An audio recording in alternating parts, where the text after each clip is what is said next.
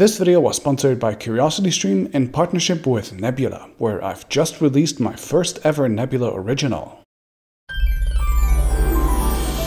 iPhone City. Surely there is a place somewhere in California where the milk and honey flows, luxurious Apple stores adorn every street corner, Siri's benevolent wisdom guides celebrities through their day, and Ted Lasso hosts perfectly wholesome training routines on Fitness Plus. Except it's not iPhone City is the nickname of the Zhengzhou Xinzheng Comprehensive Bonded Zone in the Henan province of China, where about 350,000 people assemble about half the iPhones in the world, and it is one of the crown jewels of the world's largest contract manufacturing company by far, Foxconn. The Taiwanese giant also has 11 more facilities in mainland China alone, including the Shenzhen-based completely walled-off Longhua facility, often referred to as Foxconn City, that operates with up to half a million people, as well as plants across Vietnam, India, Brazil, Mexico, the Czech Republic, and even the US, where its notorious Wisconsin plant drew so much attention over the last few years. Foxconn is involved with almost every consumer electronics item that you own, so in the 80th episode of the Story Behind series, let's talk about how one man built a contract manufacturing empire and why that company now wants to move on to do other things instead.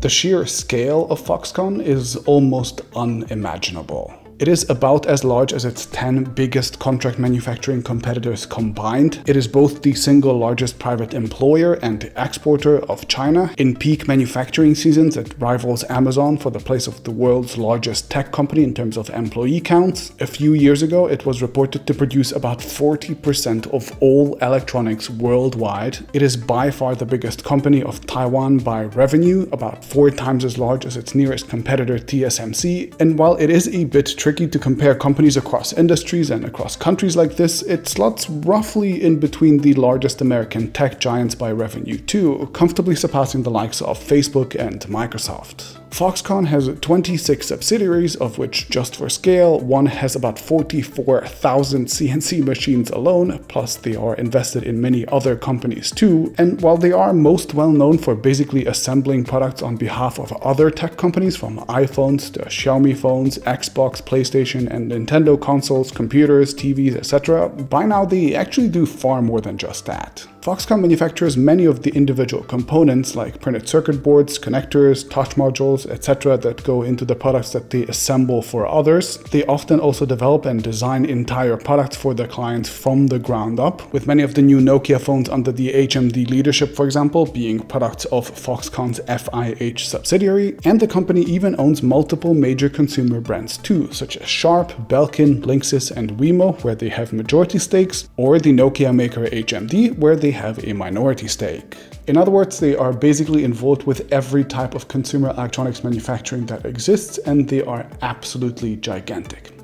And yet, neither management nor investors seem particularly excited about where the company is today. See, high revenues and huge scale don't mean much if you can't also turn that into lots and lots of profit. And this is where Foxconn has a particularly tough business. Despite having revenues four times as high as Taiwan's other darling tech company, the chipmaker TSMC, Foxconn makes just a quarter of the profits that TSMC does. They only got to keep four of the $186 billion of revenue that they generated last year, a mere 2% margin, compared to the insane almost 40% of TSMC and the 20 to 30% that the American tech giants typically make, leaving Foxconn as a significantly less lucrative business than basically any other tech company at its size. Contract manufacturing is a particularly cutthroat business, and profitability isn't even the only concern of Foxconn. So let's take a look at how they managed to establish themselves as the king of this particular hill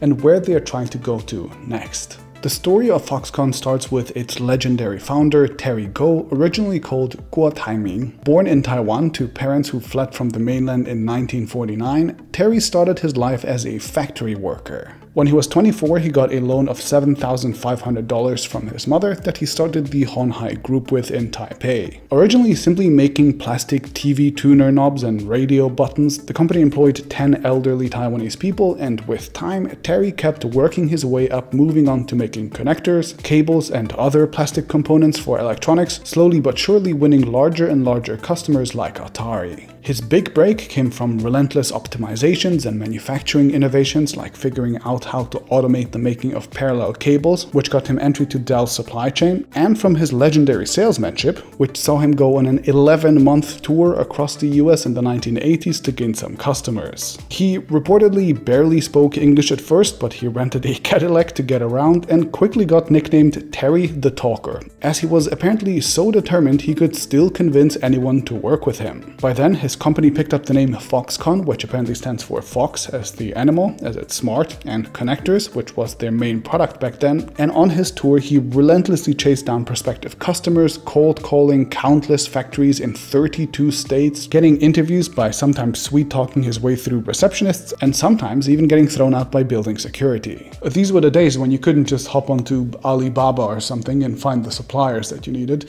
and Terry put the legwork in to make sure that his company had the clients. After collecting customers, he returned and built up manufacturing capabilities, for example by opening up their first Shenzhen plant, and by 1996 he was ready to move past just making components when he took the jump off a cliff and figure out how to build an airplane while you are falling approach. Despite only ever having made connectors and knobs at that point, Terry the Talker apparently talked Compaq into buying complete computer cases from Foxconn. He then subcontracted that job to other manufacturers, copied their processes and improved it, ending up making full Compaq computer chassis instead. And when a then budding supply chain manager called Tim Cook left Compaq to help Apple figure out their contract manufacturing business, Terry Gou followed too, helping Apple figure out how to make the aluminum alloy cases of the Apple Power Mac G5 that many others have struggled with. And he was first in line to offer manufacturing the iPhone at a loss as well, in hopes that that business would expand in the future and would eventually lead Foxconn to profits. Terry was not only a terrific salesman, he also made lots of really risky bets, most of which paid off, which means he was probably very smart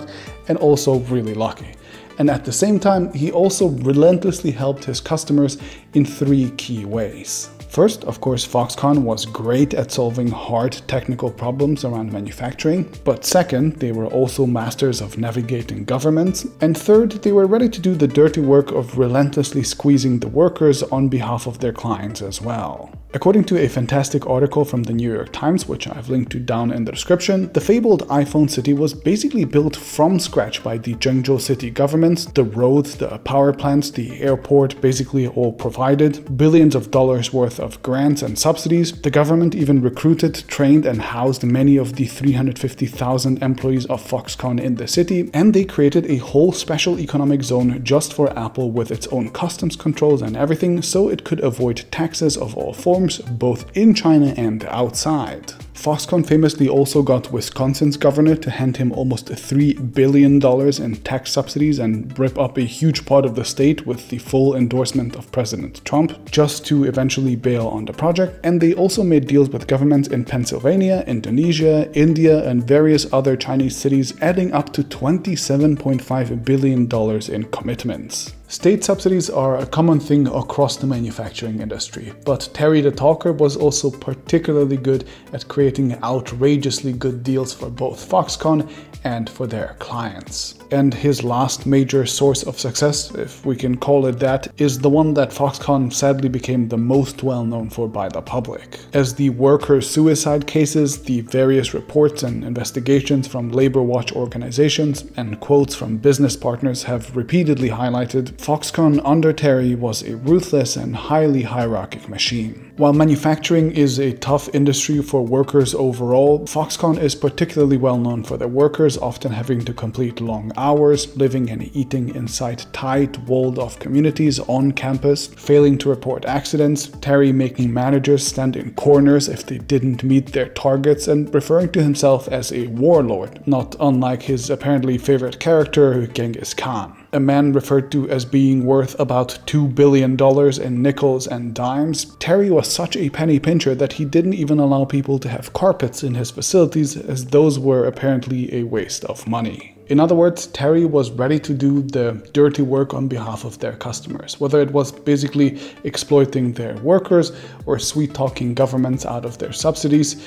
And those, I guess, capabilities combined with the incredible salesmanship of Terry eventually made Foxconn into the contract manufacturing behemoth that it is today. But contract manufacturing, as we have discussed earlier, is a low margin business where even giants like Foxconn are ultimately replaceable. Apple, for example, constantly brings on smaller competitors just to basically remind Foxconn of that so they keep their prices low. And with geopolitical tensions and trade wars on the rise, this business is only going to get more complicated in the future. It is no surprise then that Foxconn has been trying to move on from this position for a couple of years now, and they've basically come up with two different potential solutions. First, the classic path for any manufacturer, which is just to move up the value chain from OEM to ODM and finally OBM, which is when a company goes from just assembling a product on behalf of another company based on their external plans to the manufacturer, then starting to design and develop products in-house, and finally just skipping the client altogether and selling their own products directly under their own brands. And like many of its competitors, Foxconn did try this approach. With investment investments in companies like Sharp,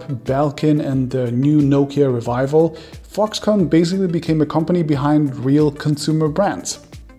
Except none of it really worked out particularly well, so they have essentially deprioritized this business for now. Instead, since Terry resigned and the new CEO, Young Liu, came to power, Foxconn has tried to embrace new businesses that offer higher margins, with electric vehicles emerging as their biggest focus area so far. Foxconn claims that they want to be the Android of EVs, developing both the core hardware and software that both new car startups and some existing giants will build their electric cars on top of. Foxconn is developing an EV platform from the ground up that they will let others license. They are developing a ton of the software to drive smart connected cars, which apparently at least Stellantis, the giant behind Fiat, Chrysler and many other brands has already signed up to use. They are setting up whole vehicle manufacturing plants so they can start making finished cars for others. And they are also investing into key individual components from batteries to motors and even special automotive semiconductors, which they recently acquired a Taiwanese manufacturer for. And while some of their initial projects have stumbled so far, such as their partnership with the Chinese EV maker Byton, many more are underway. The company thinks that it is on track to supply at least 5% of all EVs globally by 2025, at least in some capacity, and it has plans to take over much more of the market after that. In other words, they've looked at the next big product category, which according to them will be electric vehicles, and they've decided that they not only want to be a part of that,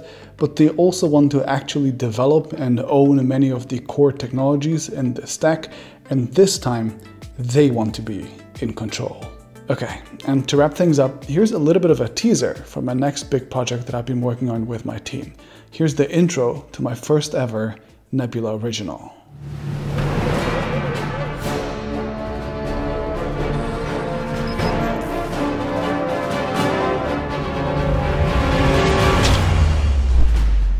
Technorama is a brand new series. It is a love letter to the weird and wonderful ways technology gets portrayed in movies, and we apply my kind of analysis to find the deeper meanings behind the killer robots, iconic aliens, etc. on screen. The first episode that just went live on Nebula not long ago takes a look at the technophobia in the early days of cinema, all the way up to the 50s. We have many more episodes planned for the future, and Nebula is a wonderful platform that lets us make big experiments like this, where we get to hire people and dare to work on stuff outside of just our usual topics, without having to worry about upsetting the algorithms around our main YouTube channels or anything else. If you want to support my work, signing up for Nebula is a fantastic way to do it, and it gets you ad-free access to content from some of YouTube's smartest creators, often even before stuff goes live on YouTube. Plus, of course, it lets us make better content for you as well. Best of all, you can get access to Nebula for free with a subscription to my sponsor, CuriosityStream, which itself is just 15 bucks for an entire year. That's like barely more than a dollar a month. CuriosityStream is, of course, the premier place on the internet for high quality professional documentaries from the founder of the Discovery Channel, and they have a huge library of science, nature, and history content to binge while you are stuck at home. I have recently finished watching an episode of Catalyst on CuriosityStream, which took a closer look at the potential of quantum computing, and there's tons of other content from hosts like David Attenborough, Jane Goodall, Stephen Hawking, and more. So check them out at the link in the description, and I'll see you next week.